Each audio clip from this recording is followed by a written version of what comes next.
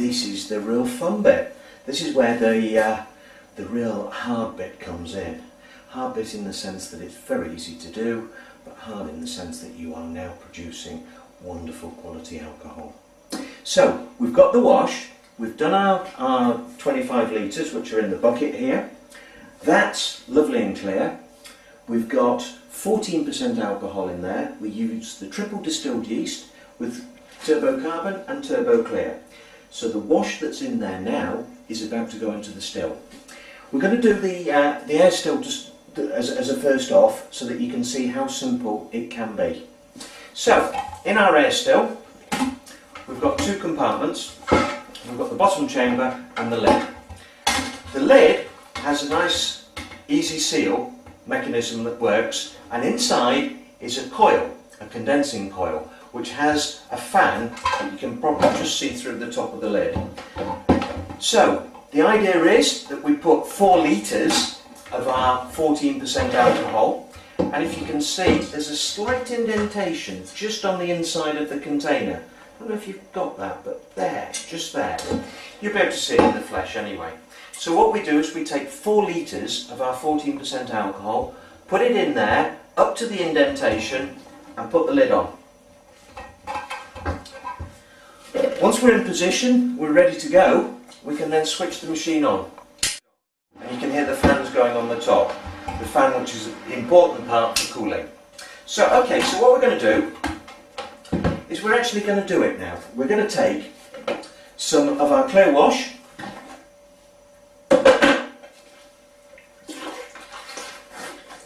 and this is going to go into the still.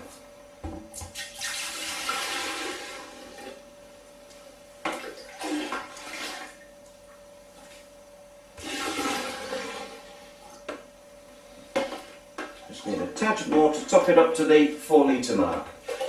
That's perfect, absolutely perfect. Now, because we sometimes have a problem with the, uh, uh, the small air still, when I say problem, what can happen is we can get a build-up of bubbles on the base of the uh, still. Those bubbles, when they form together, almost create like a little explosion. You've probably seen it with uh, milk on your stove. So to prevent this from happening, we have what's called some ceramic boil enhancers. These are ceramic beads, and literally we just put those into the still.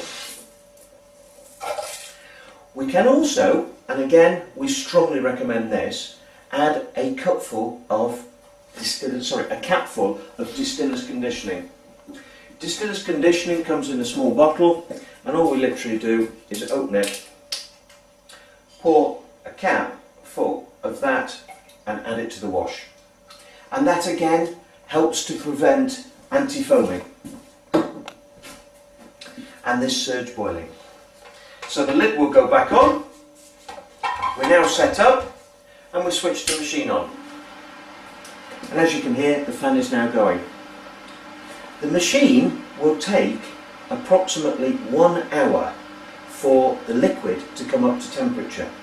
When I say come up to temperature, this machine has been specially set so that at 78 to 82 degrees it will give off the vapours, the alcoholic vapours, which come off before boiling. Those vapours will then go into the fan unit and as the fan starts to chill, it will then turn back into water. Now that is an hour after we've started and it will start to drip through this little black funnel at the end. We've now got two options, are two machines on the market. Both do the same job but have slightly different collection systems, so I will run through both. The first one is this jug. And the jug has a little filtration unit and in the filtration unit is a carbon tea bag sachet. That carbon tea bag sachet needs to be activated by running it under hot water.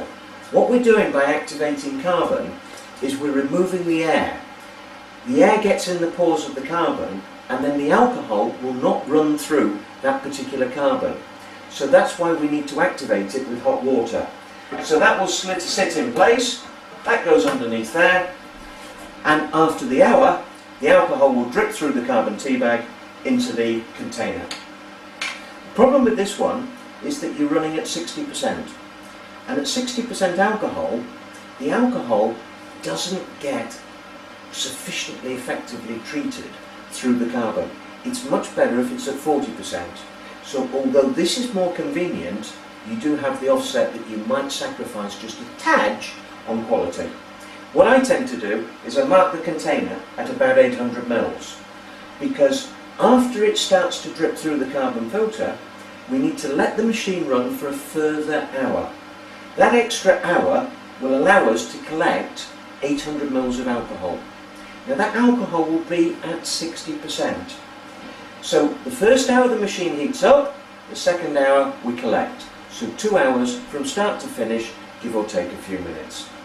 When we've collected 800 mils, we can then switch the machine off and we have our alcohol at 60%. All we then need to do is dilute that alcohol 50% with water. So our 800 mils at 60% will become 1200 mils at 40%. And the 40% alcohol we can then add our flavourings to, which we'll talk about in a short while. The other system is the still spirit system, which is a great look system. With this, we have two options. We can either take the alcohol at 60%, let it run through into this collecting chamber, and at the bottom of the collecting chamber is the carbon cartridge. So that carbon cartridge, again, needs to be activated with hot water. Some people actually find that they work better if they're soaked overnight um, because the time it seems to take to run through can vary from, from cartridge to cartridge. So we can run the alcohol directly through the carbon cartridge and into the bottom container. Or alternatively, we can collect the alcohol at 60% and we can collect 800 mils. So collecting in exactly the same way as we would for this, the machine is switched on for the first hour. At the end of the first hour, it will start to drip through the black nozzle into the collecting chamber. At the end of the second hour, we've got approximately 800 mils of 60% alcohol. All we have to do is take that alcohol, dilute it 50% with water, so again, our 800 mils will become 1200 mils. We're now at 40%. Carbon likes dealing with alcohol under 50%. So we simply pour that into the top of here, that sits in place, and we let it run through. It might take a few hours for that to happen. Once it's in the bottom of the container and it's been collected, we can then treat the alcohol and use that alcohol to make our flavourings. So either way, either system, both great, both work well, and um, and we can then use that alcohol to make the flavouring. So that's the basic principle of the small air still. It's a great system. What we always like to say as well to people is your alcohol that's in the bucket, you've got approximately 25 litres when we started. So from the 25 litres, we've lost a litre when we did the racking or the siphoning off the sediment and we've now got our clear alcohol. With that clear alcohol we've got 24 litres. 24 litres, we've got 4 litres at a time in the still. We should get 6 passes through the still of the alcohol. So if we think that each pass we're going to run through on the still will produce 800 mils at 60%, or 1200 mils at 40%, we have six passes. We're going to get six times 1.2 litres of 40% alcohol. That's roughly 7.2 litres of 40% alcohol. So that's going to produce you 10 bottles of alcohol. So for an initial investment on the machine, you can see it's not going to take you very long before you get a good return. So the cost of your alcohol is six bags of sugar, your triple distilled, yeast, your turbo carbon, and your turbo clear. So those three items plus your bags of sugar, it's working out at about 65 to 80p, depending on the cost of your sugar, for a litre of alcohol. As I say, it's not going to take you long before you get your money back. So the two hours just about finished, and we've actually collected here the 800 mils of alcohol. I've switched the machine off. This is now at 60% this alcohol. How do we know? Well, we have what's called a, a spirit hydrometer. The spirit hydrometer, very similar to a standard hydrometer. And it, we have a scale of 100 down to naught. It's particularly accurate between 100 and about 40, 35, something like that. So we can just literally drop that in the alcohol and it will tell us exactly what the alcohol strength is. So it's a great piece of equipment, absolutely essential if you are making any alcoholic drinks. The one thing you don't want to do is to have it too strong. If it's too strong, it's just a nightmare. So we've got 60% alcohol here. I've got 400 mils of water here that I'm going to add to it to reduce it down to 40%. And all I'm going to do is I'm just going to mix it, make sure it's well mixed. There we go. I've got my carbon cartridge which I've soaked, given it a good soaking so that that's all ready to go. That's going to slot in place there. And all I'm going to do is pour the alcohol into this container. And it just holds it perfectly. So I'm going to leave that until it's finished and run through the carbon cartridge. It could take anything up to, well, to be honest, it doesn't matter how long it takes. It's alcohol at, six, at 40%, so it's not going to pick up any infections. Yeah, if you want to just put a cloth over the top so that no flies can get in or anything like that, totally understand.